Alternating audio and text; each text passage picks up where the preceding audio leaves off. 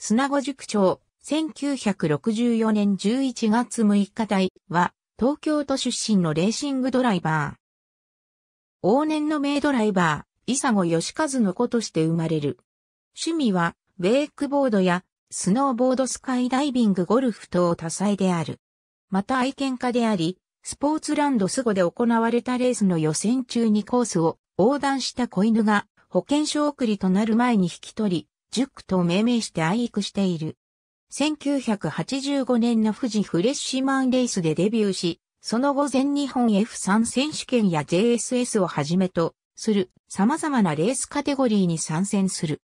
1992年から N1 耐久に参戦、日産ピーズモータースポーツ、メンテナンス運営から日産プリンス東京としてスカイライン GTR で1996年にスーパー耐久クラス1でシリーズチャンピオンを獲得する。この時のセカンドドライバーは福山秀夫。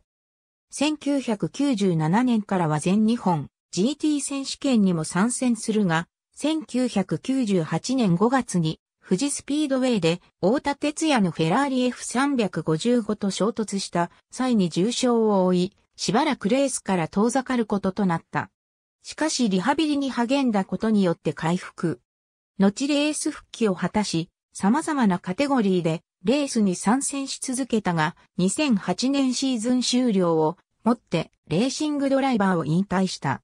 テストドライバーや開発ドライバーとしても活躍するほか、軽妙なキャラクターや話術から雑誌記事の執筆やテレビ番組のレポーターなどでも活躍している。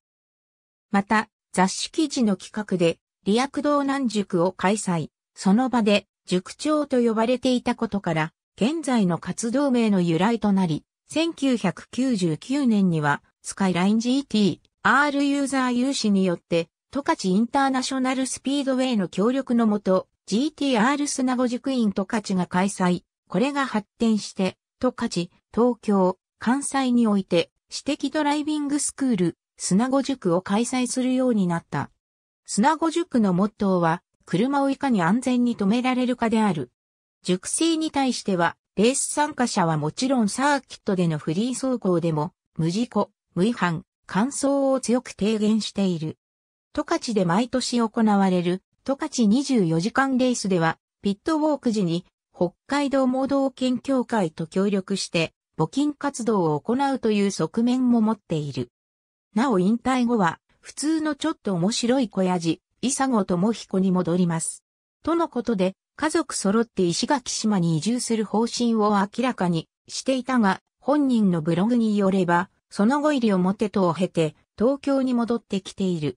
2018年には、ブランパンアジアに BMW M4GT4 でデビューする BMW チームステディのドライバーに選ばれ、現役復帰。パートナーは木下隆之。第5戦鈴鹿で優勝を飾っている。2020年はスーパー耐久シリーズに SS、YG レーシングウィズストゥディで木下隆之と鈴木博和と共に参戦。ありがとうございます。